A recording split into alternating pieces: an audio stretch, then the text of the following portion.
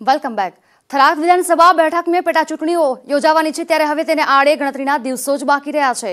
ત્યારે ભાજપ અને કોંગ્રેસ બંને ઉમેદવારો જીતવા માટે પૂરતા પ્રયાસો કરી રહ્યા છે અને આ સીટ કબજે કરવા માટે ભાજપનું પ્રદેશ મોવડી મંડળ અને કોંગ્રેસમાં પણ પ્રદેશ મોવડી મંડળે છેલ્લા બે દિવસથી થરાદમાં ધામા નાખ્યા હતા અને ત્યારબાદ થરાદ બેઠક પર ભાજપ અને કોંગ્રેસના ઉમેદવારોની જાહેરાત થયા બાદ અત્યાર સુધી બંને પક્ષમાં અનેક ઉથલપાથલ જોવા મળ્યા છે.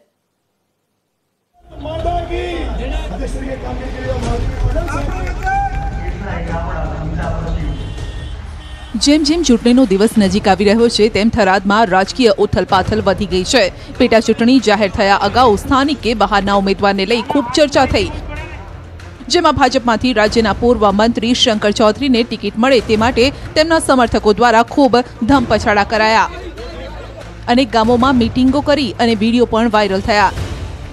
જો કે તેમણે ટિકિટ ન મળતા સમર્થકો નારાજ થયા.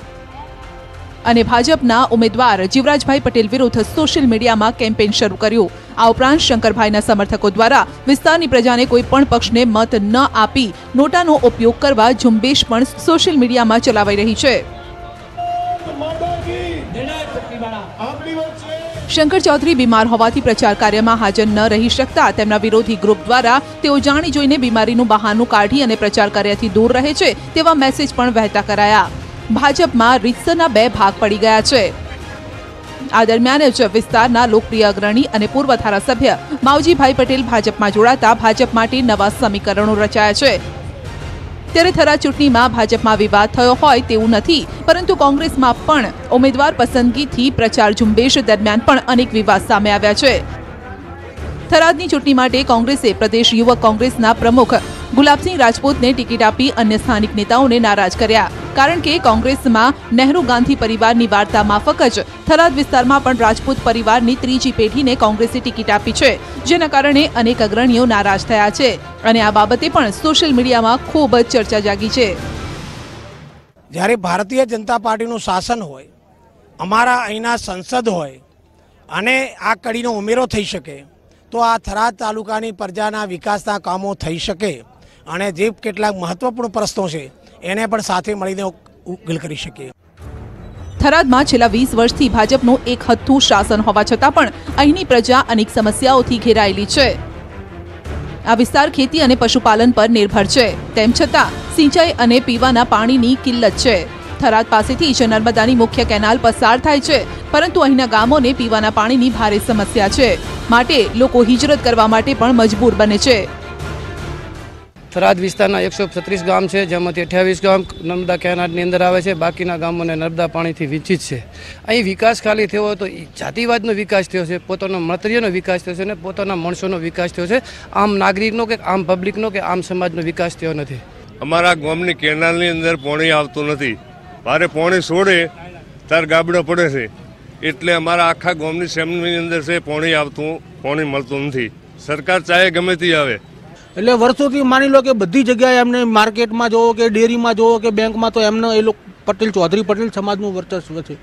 એટલે અત્યારે અમે હવે જોઈએ તો કે ગમે ત્યારે ભાજપ કે કોંગ્રેસ ગમે તે ઉમેદવાર મૂકે, પણ ચૌધરી પટેલોનું પીઠબળ મોટું છે, એમની વોટિંગની સંખ્યા વધારે છે, એટલે જીતવાની શક્યતા તેમની વધારે છે. જો કે આ તમામ વાદ વિવાદો વચ્ચે હાલમાં ભાજપ અને કોંગ્રેસના ઉમેદવાર મતદારોને રીઝવવાના પ્રયાસોમાં લાગી ગયા છે.